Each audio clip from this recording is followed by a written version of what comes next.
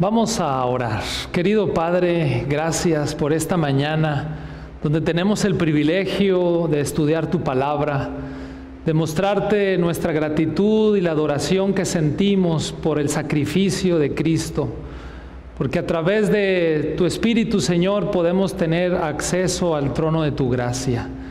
Y te suplicamos, Señor, que esta mañana podamos sentirnos satisfechos de saber que tenemos plena comunión contigo, que eso nos fortalece y que eso nos ayuda en nuestro caminar hacia la patria celestial. Quédate con nosotros, Señor, en el nombre de Jesús. Amén.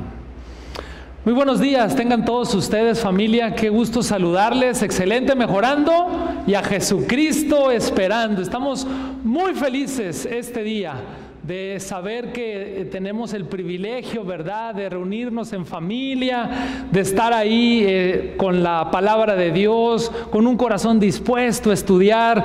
Y les mando un abrazo a todos ustedes, aunque de pronto no, podemos, no podemos vernos, pero sabemos que están ahí, sabemos que están preparados porque durante la semana hacemos una preparación para encontrarnos con nuestro Salvador de manera plena. Así que nuestros saludos, nuestros abrazos para ustedes, que Dios les acompañe, los que se encuentran también postrados, los que están eh, con algún problema de salud, pues también nos unimos en oración por ustedes. Vamos a, a comenzar el estudio de esta mañana y lo vamos a hacer, pues ahí está la cita bíblica. Apocalipsis capítulo 3, versículo 5. Esta cita, ustedes pueden ver aquí en pantalla y también ustedes allá, eh, que muy bien lo ejemplificaron en el, el rincón infantil, ¿verdad? De los galardones que, de pronto hemos recibido en la vida, esos reconocimientos, esos momentos tan especiales que, nos recuerdan los esfuerzos, que nos recuerdan las pruebas, que nos recuerdan esos momentos de adversidad, pero que al final hay una grata recompensa. Bueno, el texto de hoy nos dice que hay una triple promesa para el vencedor, porque dice ahí que el que venciere, el que venciere podrá tener vestiduras blancas, número uno. Número dos, no borraré el nombre, no lo borraré del libro de la vida. Y número tres dice que confesaré su nombre delante del Padre y de los ángeles. Dicho esto, porque ese va a ser el, el texto de estudio, el libro de Apocalipsis, ustedes saben perfectamente bien que nos recuerda que en siete ocasiones se, se, habla, ¿verdad?, a las siete iglesias y en cada una de estas hay una promesa al vencedor. Tenemos ahí eh, siete galardones que representan, ¿verdad?, la promesa al vencedor, que son galardones de salvación, que son reconocimientos de vida eterna, que son manifestaciones de la gracia y del amor de Dios por sus hijos. Y cuando uno, si tienes tu Biblia ahí, empieza a buscar lo que dice Apocalipsis capítulo 2, capítulo 3, porque en el versículo 7, capítulo 2, versículo 7 nos dice, al que venciere le daré de comer del árbol de la vida. Qué maravilloso galardón. El, siguiente, el siguiente mensaje a las iglesias en el versículo 11, el que venciere no sufrirá daño de la muerte segunda. Versículo 17, el que venciere, le daré a comer del maná escondido, le daré una piedrecita blanca y en esa piedrecita un nombre nuevo. Capítulo 2, versículo 26 y 28. Al que venciere y guardare mis obras hasta el fin, yo le daré autoridad sobre las naciones y le daré la estrella de la mañana.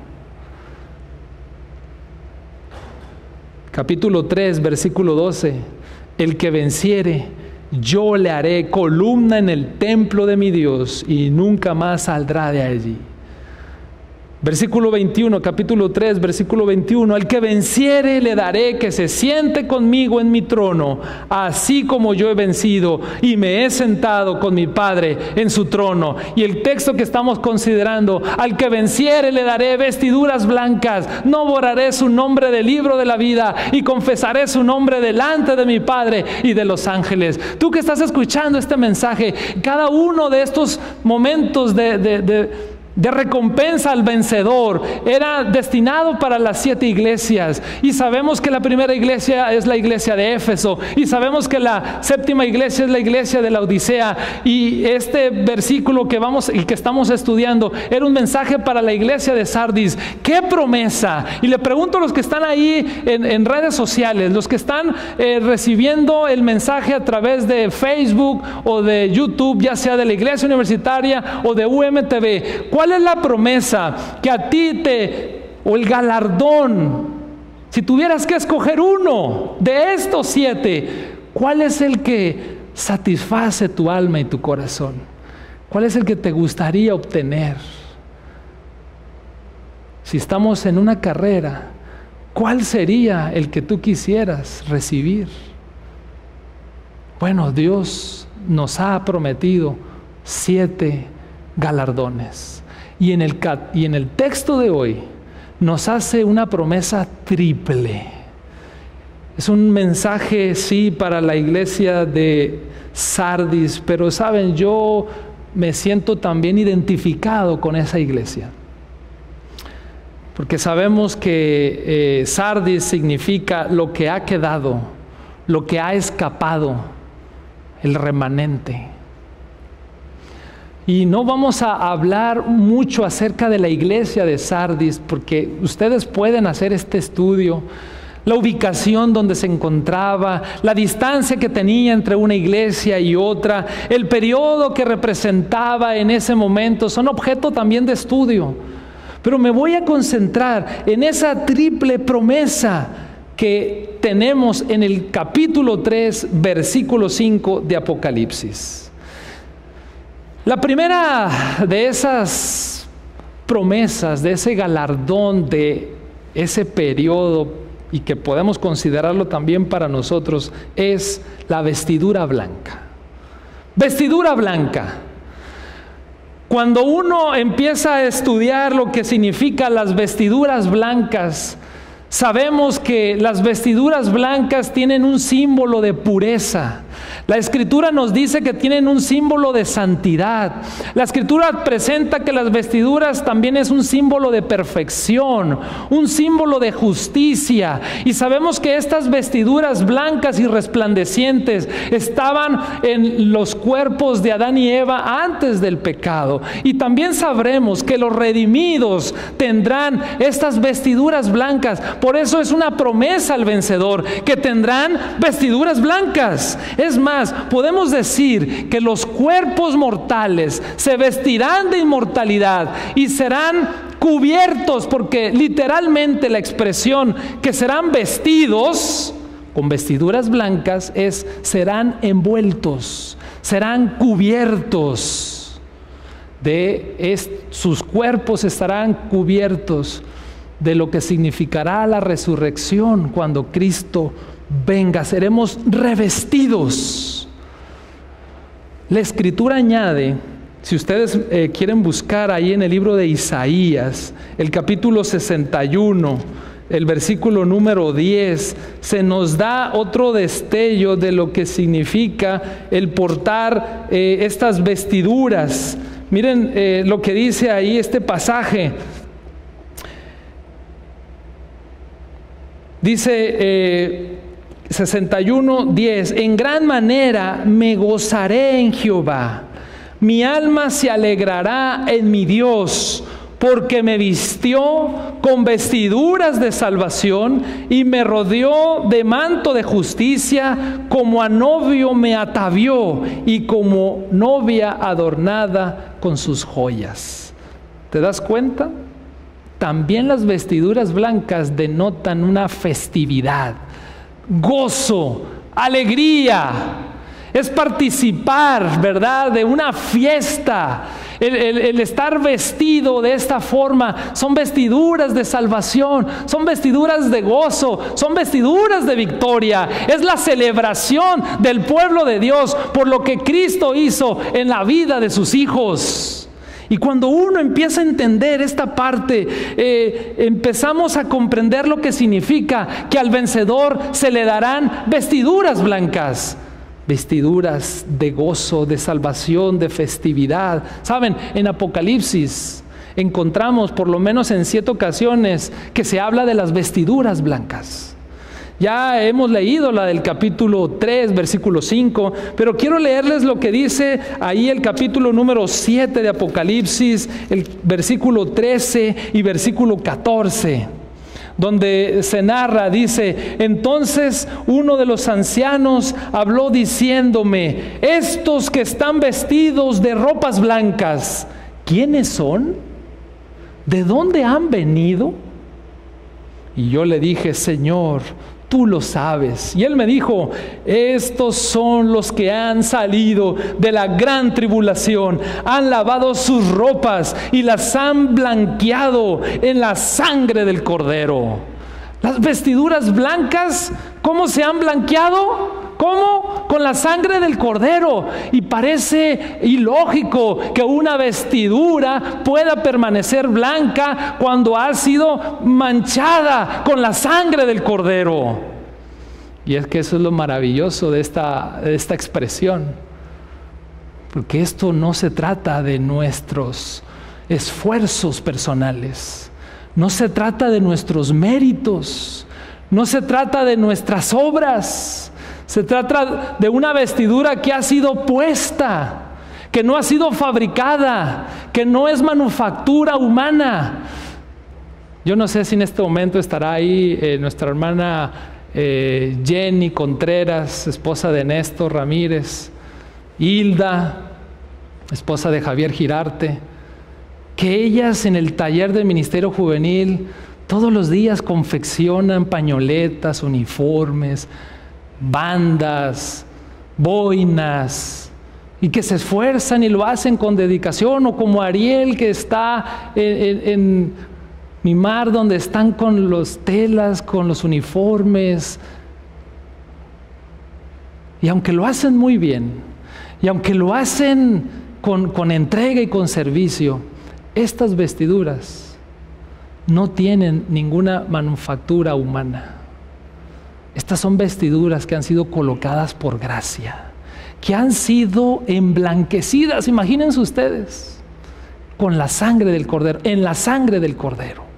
Por eso siempre he dicho que al reino de los cielos no entrarán los negros ni los blancos, entrarán los rojos, los que están bañados en la sangre del cordero. Siempre lo he dicho.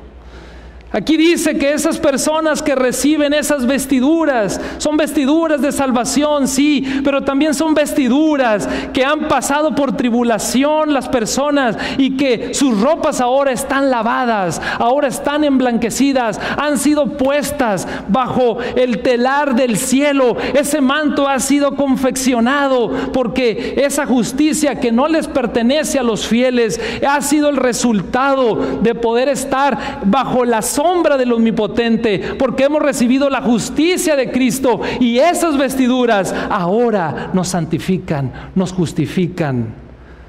Y es motivo de celebración, es motivo de victoria, es el galardón para aquellos que puedan vencer, para aquellos que van a perseverar. Son ropajes inmaculados, son ropajes que Dios colocará sobre sus hijos.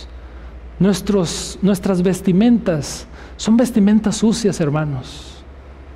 Por más, por mejor apariencia que podamos dar, por mejores esfuerzos que hagamos, todavía hay egoísmo en el corazón, todavía hay envidias, todavía hay celos.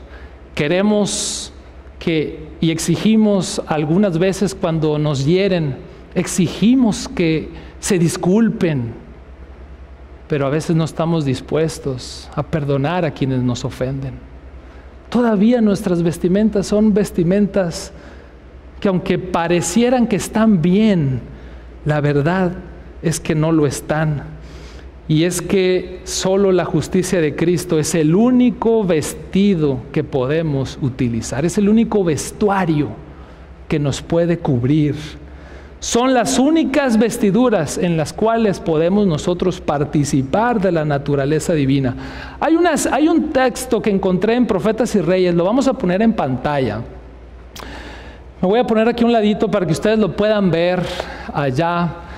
Porque dice allí que el manto inmaculado de la justicia de Cristo se coloca sobre los hijos de Dios probados, tentados y fieles. El resto que fue despreciado ahora está vestido con ropas gloriosas para nunca más ser contaminada por la corrupción de este mundo. Sus nombres se conservan en el libro de la vida del Cordero, inscritos entre los fieles de todas las edades. Han resistido las artimañas del engañador no han sido apartados de su lealtad por el rugido del dragón. Ahora están eternamente a salvo de cualquier dispositivo del tentador. Y miren, querida familia, se nos dice con toda precisión que tenemos ese manto inmaculado, pero es aquel que va a vencer, es aquel que se mantiene leal, es aquel que permanece fiel, aunque los cielos se desplomen, aunque ruja el dragón con furia en sus hogares.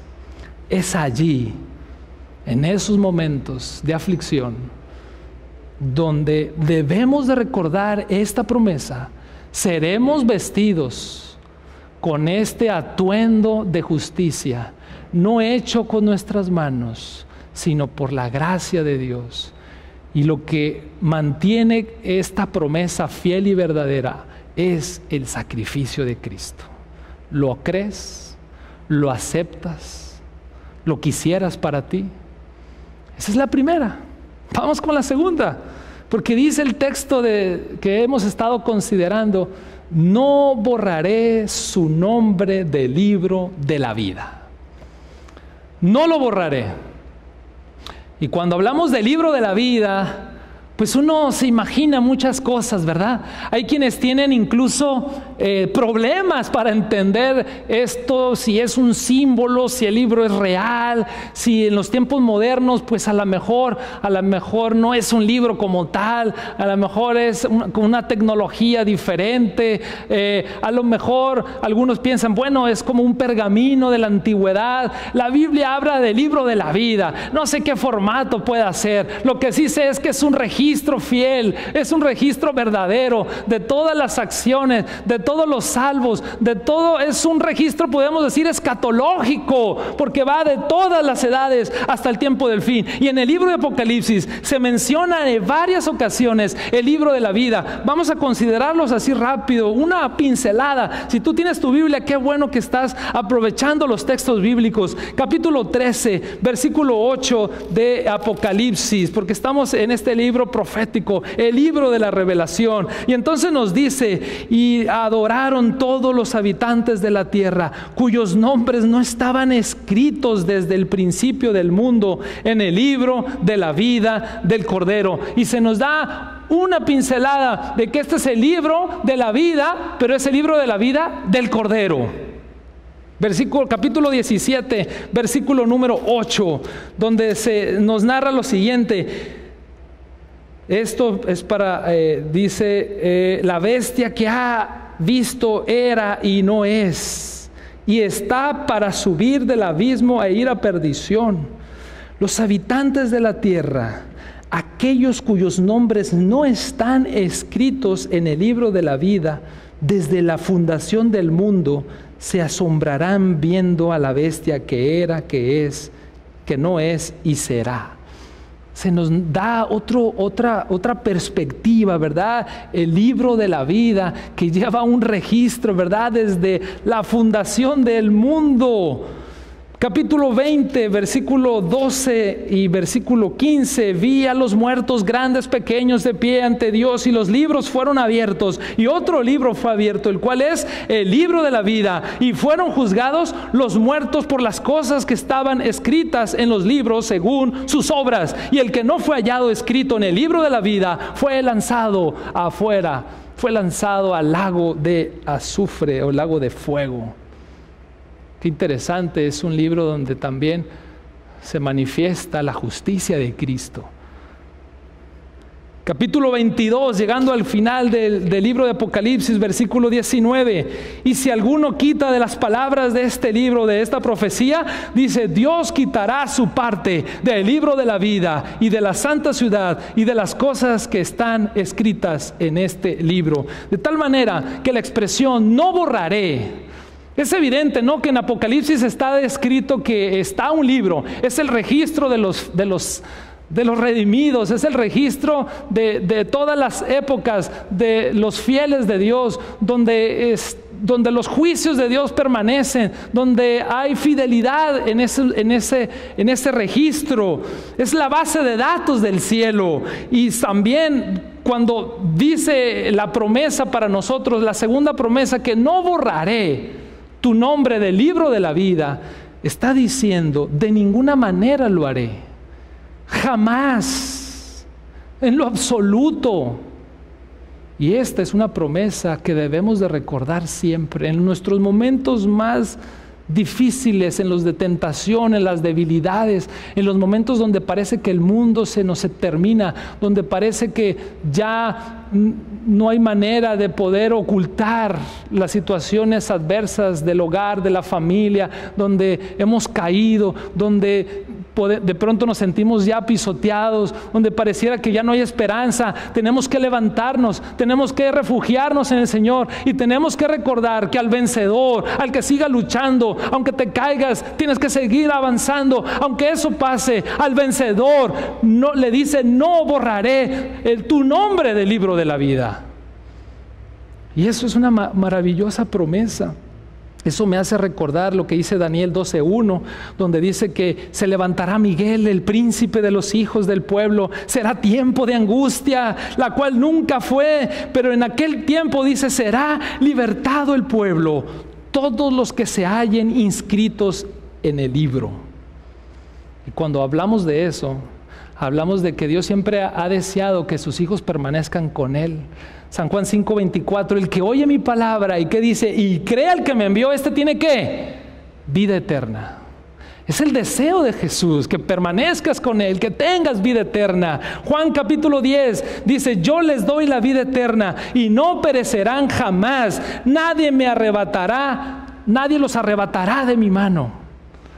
La promesa de Dios es que en lo absoluto Él desea que tú estés cerca de Él, que, los registros que llegan al cielo, tú puedas tener esta justicia de Cristo y saber que tu nombre sigue allí.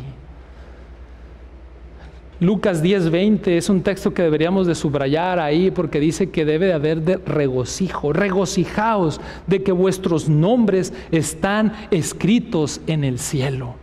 La pregunta es, ¿tú tienes la certeza esta mañana de que tu nombre está escrito en los registros del cielo? ¿Que permanece tu nombre en el libro de la vida? Y tú puedes decir, ¿cómo puedo saber eso? ¿Cómo puedo tener esa certeza, esa garantía? ¿Has hecho un pacto con el Señor? ¿Confiesas el nombre de Dios en tu vida? ¿Has aceptado a Jesús como el Salvador de tu, de tu vida? Y si es la primera vez que tú estás escuchando un mensaje como este, estás siendo sensible a la voz de Dios para crear un vínculo, una relación con Él, que, que con eso será suficiente, es la garantía que tú tienes. El que creyere, Dios envió a su Hijo y lo envió para darte vida eterna. Entonces, si de tal fue el amor de Dios, pues Qué bueno que tú puedas creer. Y si tú estás, si tú tienes dudas, si, si, tu nombre está o no registrado, como cuando de pronto tenemos dudas si nuestros nombres están de pronto en el registro de la iglesia, si me apunté bien en la vacunación, si estoy... Eh, en la lista que los maestros de pronto tienen, eh, muchas listas y siempre de pronto hay dudas, pero no debe de haber dudas en el registro de nosotros en el cielo, porque el Señor dice, no lo borraré, no lo borraré. Esto no quiere decir, pero bueno, voy a seguir adelante porque quiero decir algo más. El Padre nos escogió por causa de su Hijo. Esta es la póliza de seguros, familia. Es la, la, manera de que el pecador arrepentido recibe el perdón por sus pecados. Es cierto que en la antigüedad Muchos de los nombres de los residentes de las ciudades eran borrados. Cuando tú ves Isaías capítulo 4, versículo 3, o ves Salmos 69, 27, se nos dice que muchos de los nombres fueron quitados del libro de los vivientes. Isaías 4 nos dice que incluso aquellos que estaban registrados en Jerusalén y que eran llamados santos, dice, todos los que en Jerusalén estén registrados entre los vivientes. Y es que en muchas ciudades había registros de las personas mientras vivían, pero una vez que morían, sus nombres eran borrados y quitados del libro de los vivientes. Pero el Señor nos dice que no quitaré, no borraré en lo absoluto, de ninguna manera, para nada, jamás podré quitar tu nombre del libro de la vida, porque te amo y porque quiero tener una relación contigo para siempre. Por eso tenemos que seguir luchando, por eso tenemos que seguir esforzándonos, por eso hay que volvernos a levantar en medio de las dificultades. Y finalmente, la promesa número 3 de capítulo 3, versículo 5 de Apocalipsis, donde estamos considerando solamente este, esta baraja, ¿verdad?, de, de galardones. Aunque hay siete, y esos siete son objeto de estudio y se distribuyen en muchos más pues dice al final no, que dice, confesaré también su nombre a mi Padre y a los ángeles.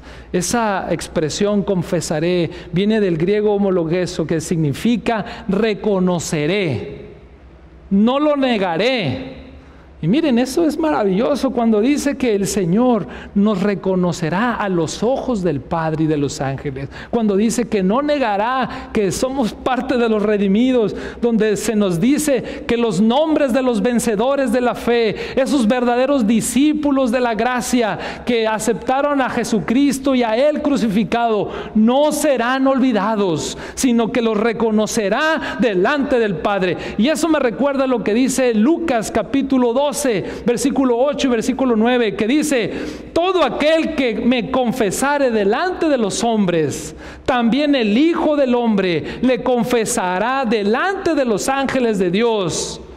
Y también dice que el que lo negare también, ¿verdad? Será negado. Pero esa es una referencia, es el cumplimiento al vencedor.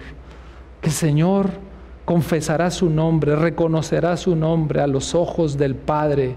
En otras palabras, familia, queridos hermanos, la fidelidad en las pruebas que hoy tú enfrentas será recompensada más allá de toda medida en el porvenir que nos espera en Cristo Jesús. No hay comparación. No hay comparación. Lo que el Señor tiene para nosotros es maravilloso. Y termino con esto. Cristo es el que tiene el libro de la vida. Es el libro de la vida del Cordero.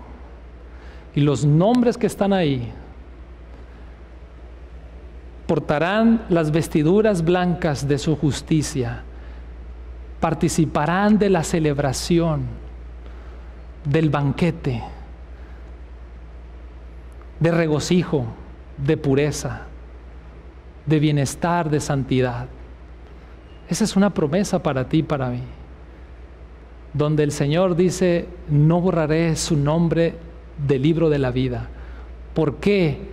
Porque dice, aquellos que salieron de la tribulación, aquellos que permanecieron fieles, aquellos que entregaron su corazón a esta causa, pues serán aquellos que han aceptado el sacrificio de Cristo y sus ropas están emblanquecidas en la sangre del Cordero y donde finalmente su nombre no será negado.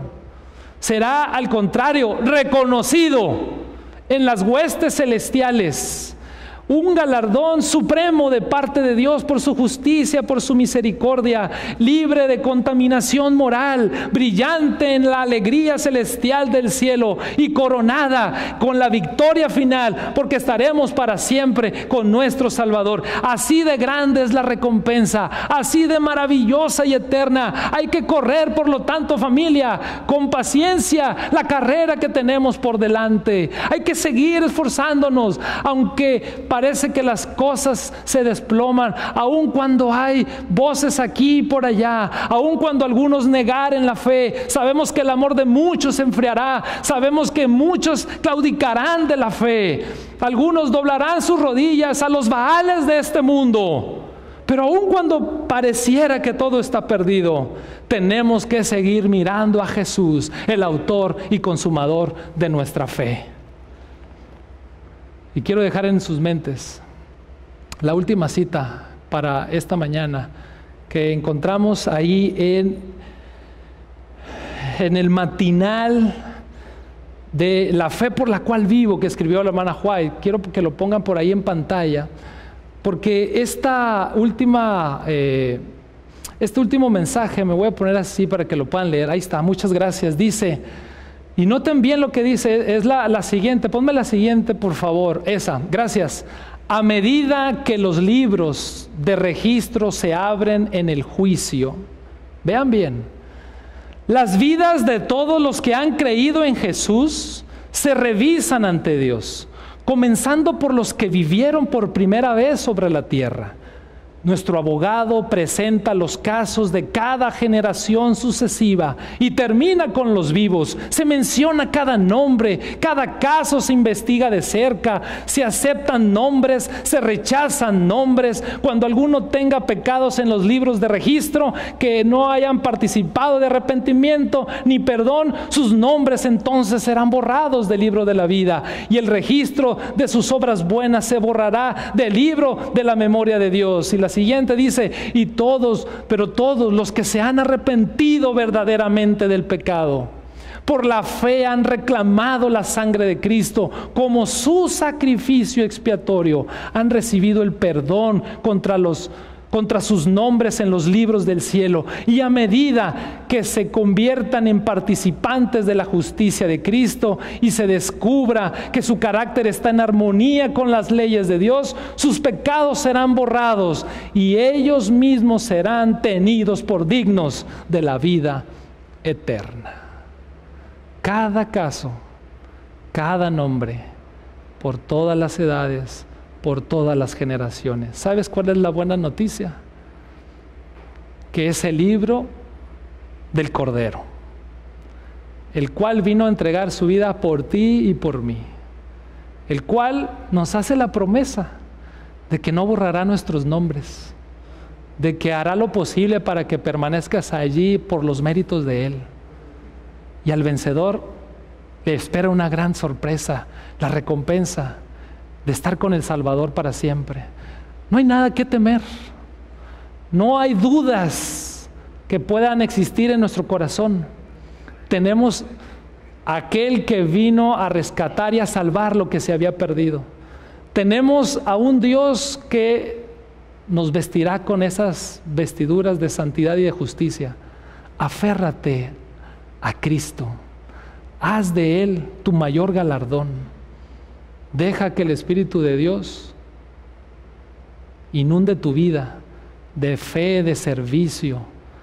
Hay que continuar, hay que seguir avanzando, hay que seguir luchando, hay que seguir proclamando, porque tenemos una misión de decirle a las personas que están viviendo sin esperanza, que están en un mundo perdido, que no saben qué hacer, que no encuentran esperanza, hay que decirles que Cristo pronto viene y que sus promesas son promesas fieles, que desde hoy podamos experimentarlas, que desde hoy podamos disfrutarlas. Regocijaos, dice el Señor, aquellos que recibirán estas vestiduras. Desde hoy, en este día, podemos decir al Señor, gracias por tu promesa, gracias por esa motivación que nos das, gracias por tu sacrificio, por tu amor, por la vida eterna, por lo que estás preparando para tus hijos cuando muy pronto vengas. Que el Señor nos acompañe. Les quiero invitar para que de una vez podamos orar. Querido Padre, gracias por tu palabra. Gracias Señor porque en ella tenemos esta certeza, porque podemos vivir con esta seguridad. Son los libros del Cordero y el Cordero es nuestro amigo. El Cordero es nuestro Salvador. El Cordero fue aquel que entregó su vida en la cruz del Calvario. Y por eso hoy tenemos estas garantías, esta póliza de seguro, que nuestros cuerpos inmortales se vestirán de inmortalidad con vestiduras celestiales, donde también tendremos la certeza de que nuestros nombres permanecerán en el libro de la vida del Cordero y donde nuestros nombres, nuestras vidas, nuestras experiencias serán reconocidas delante del Padre. Todo por la gracia y la misericordia de Jesucristo. Que sea su Espíritu Santo quien nos mantenga fieles, porque el que persevere hasta el fin, ese será salvo. Lo pedimos esto en el amor de Jesús. Amén.